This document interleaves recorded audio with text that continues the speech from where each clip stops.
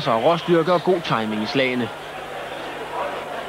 Frostinak er ikke den bedste modstander, Thomas Damgaard har haft i år, men Damgaard viste, at han ikke tager imod nær så meget, som han har gjort tidligere i karrieren.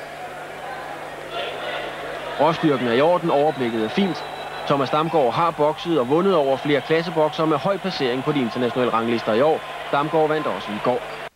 Vi er i arenaen, og det er tredje omgang, og det er Thomas Damgaard i røde bukser og blå trøje, og han er på dette tidspunkt bagud med 14-4 efter en første omgang, hvor han reelt solgte kampen, kom bagud 9-1. En anden omgang, hvor det to gange lykkedes ham at ryste sin modstander, Armen Devorkian, og her den øjeblikkelige stilling 14-4.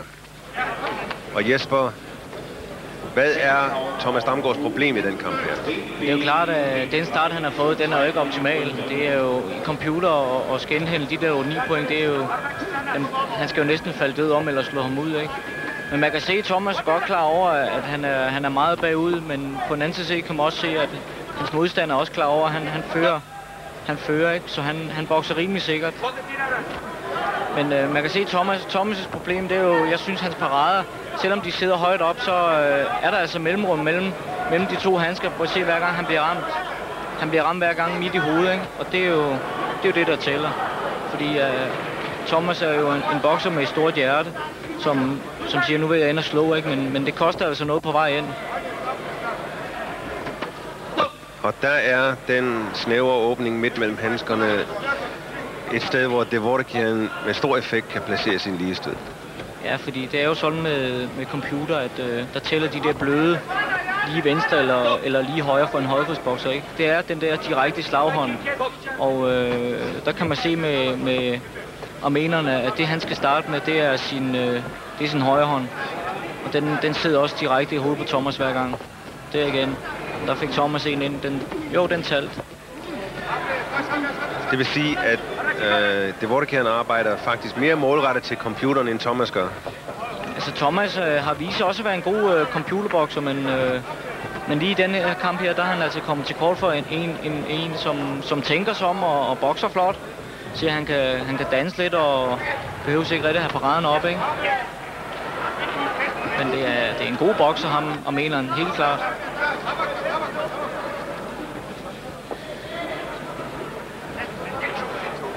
Jeg synes, at Thomas er for, for stereotyp. Det er det samme og det samme, han laver. Der er ikke ligesom nogen overraskelsesmomenter i ham. Dermed også alt for nemt at læse for Ja, altså det, det bliver næsten for primitivt for, for russerne. Ikke? Han flytter sig til højre og til venstre. Ikke? Og der er meget mere i Thomas, det ved jeg. Det er sandsynligvis også, fordi han, han er irriteret og lidt handicappet over den elendige start, og så bliver han måske låst og kan ikke få det ud af sin, sin kamp, som han gerne vil. Det er klart. Det, det sådan, er det jo mange sport, ikke? En dårlig start, den er, den er svær at indhente. Og især i, i boksning i dag, øh, amatørboksning, hvor du kun har 9 minutter til at, at afgøre det hele i, ikke?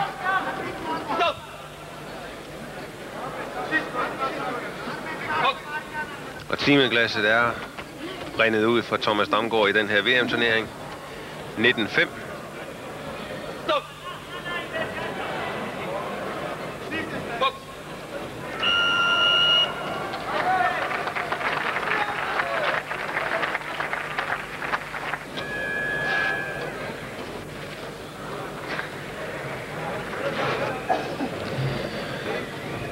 Og den afgørelse er kun en formalitet. Ja, der kan vi se igen på langsom gengivelse, at den direkte højre hånd, den sidder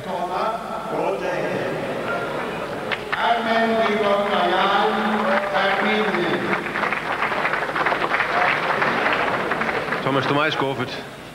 Helt sikkert. Altså, jeg er skuffet, når jeg føler, at det var en mand, jeg kunne vinde over. Ikke? Selvom at det er en mand, der ligger nummer 3 i Europa, så føler jeg selv, at jeg havde godt fat i ham, men øh, det lykkedes ikke dengang. Uh, du sælger første omgang. Helt sikkert. Altså, jeg tager de første 8-9 stød rent ind på, på snotten, skulle jeg så sige. Ikke? Og det er ligesom det, der ødelægger hele kampen.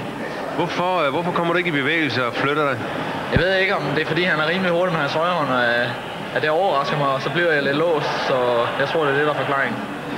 Du har rystet udefra set i hvert fald to gange. Prøv lige at forklare mig det. Altså, jeg føler helt sikkert, at i anden omgang, der har jeg rimelig godt fat i ham, og han er langt væk på et tidspunkt, men der går dommeren ind og stopper kampen, på grund af, min næste er bløder lidt. og det, det bryder ligesom omgangen, og, og så er løbet kørt. Du kan se hans øjne, han har ramt. Helt sikkert. Jeg kan se, at hans øjne bliver blanke, og han bliver usikker, ikke? Og så ved man, hvor man har ham, ikke? Men øh, det er en rutineret herre med 200 kamp, og han rider den af. Ja, 200 kampe, 180 sejre, men alligevel øh, og Europas nummer 3, men der er ikke så langt op. Nej, det er jo også det eneste positive, jeg kan bruge den kamp med til, det er det. Og der er helt sikkert noget at arbejde på, og jeg vender stærkt tilbage næste sæson. Det vil sige til allersidst, så skuffet er du trods alt heller ikke. Selvfølgelig er jeg skuffet lige det øjeblik, jeg står her, men altså, jeg kommer igen, det er vist før.